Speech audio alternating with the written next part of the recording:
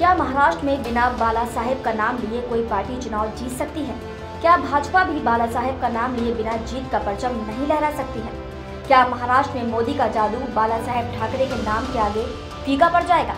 ये सवाल इसलिए क्योंकि महाराष्ट्र के पूर्व मुख्यमंत्री उद्धव ठाकरे ने मोदी भाजपा को एक बड़ी चुनौती दे डाली है और कहा कि अगर दम है तो मेरे पिता बाला साहेब का नाम नहीं, नरेंद्र मोदी के नाम पर महाराष्ट्र में चुनाव लड़कर दिखाए।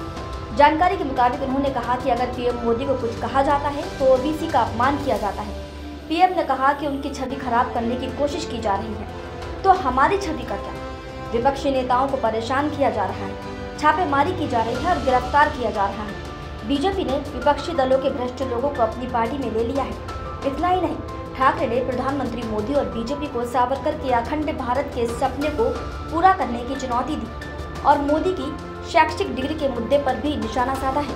डेस्क रिपोर्ट मुंबई महानगर।